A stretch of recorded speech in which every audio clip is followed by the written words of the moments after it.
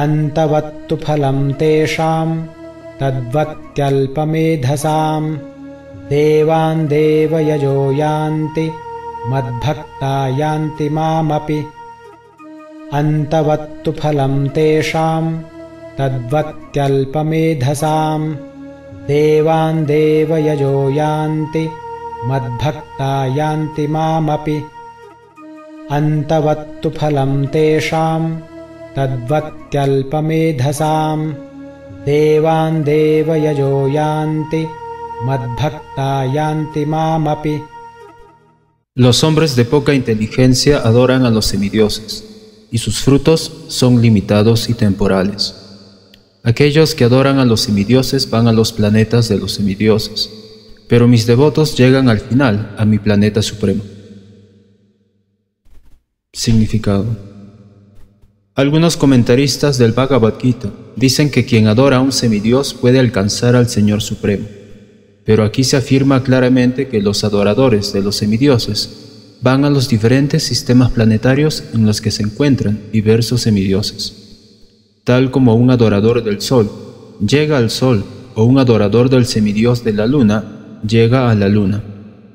De igual modo, si alguien quiere adorar a un semidios como Indra, puede llegar al planeta de ese dios específico. No ha de creerse que todo el mundo, sea cual sea el semidios al que adore, va a llegar hasta la suprema personalidad de Dios.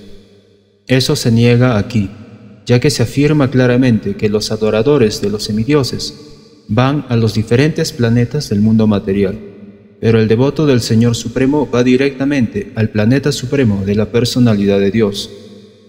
Aquí se podría aducir que si los semidioses son diferentes partes del cuerpo del Señor Supremo, entonces al adorarlos a ellos debería lograrse el mismo fin. Sin embargo, los adoradores de los semidioses son poco inteligentes, porque no saben a qué parte del cuerpo se le debe suministrar la comida. Algunos de ellos son tan necios que alegan que hay muchas partes y muchas maneras de suministrar comida. Esto no es muy sensato. ¿Puede alguien suministrarle comida al cuerpo a través de los oídos o de los ojos? Ellos no saben que estos semidioses son diferentes partes del cuerpo universal del Señor Supremo y en su ignorancia creen que todos y cada uno de los semidioses es un dios separado y un competidor del Señor Supremo. Los semidioses no son los únicos que son partes del Señor Supremo, las entidades vivientes ordinarias también lo son. En el Srimad Bhagavatam se afirma que los brahmanas constituyen la cabeza del Señor Supremo. Los kshatriyas son sus brazos, los vaishyas son su cintura, los shudras son sus piernas, y todos cumplen diferentes funciones, sea cual fuere la situación. Si uno sabe que tanto los semidioses como uno mismo es todo parte integral del Señor Supremo, su conocimiento es perfecto. Pero si uno no entiende esto, llega a los diferentes planetas en los que residen los semidioses. Ese no es el mismo destino al que llega el devoto.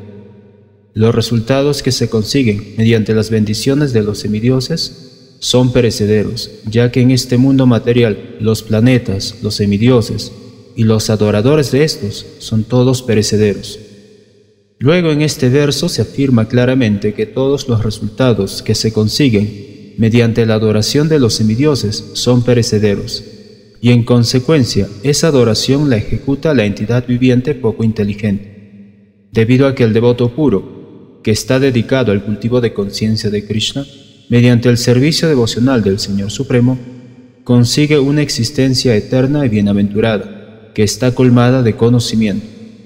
Sus logros y los del adorador común de los semidioses son diferentes.